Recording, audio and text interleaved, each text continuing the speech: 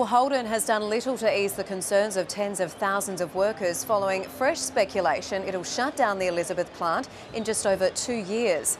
The Prime Minister's adamant there's no more cash on offer and is demanding the company comes clean on its plans.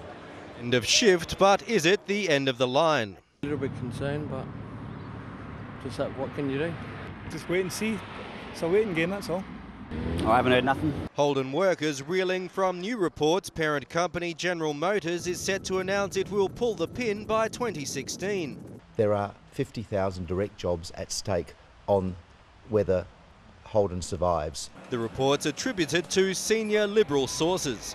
These are people that are utterly committed to a free market economics, this scorched earth economics, which means no support for industry. They will be popping the champagne corks if Holden closes. The company sending a bulletin to staff calling the report speculative and insisting any official decisions would be communicated to workers first. We like to see it a lot stronger than that. But Holden wouldn't rule anything out. A spokesman told Nine News there'd be no comment, even when asked to confirm there'd been no decision on its future.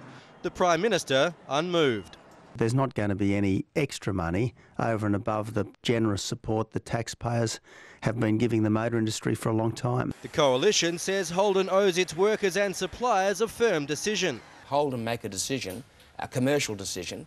Uh, it's not something that we can we can make for them. If Tony Abbott had any guts at all, he'd be here looking these workers in the face and telling them that he's already made his mind up.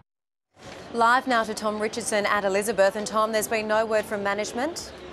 Well, no, Kate, there hasn't. And uh, as we saw, even their bulletin to workers didn't uh, deny the reports outright. But Jay Weatherill says he has spoken directly to Mike Devereux and insists the Holden boss has told him the reports aren't true.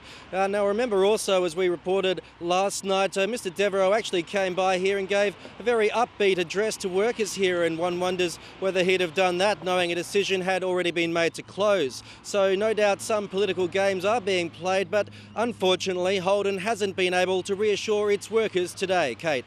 Thank you, Tom. Tom Richardson there at Elizabeth.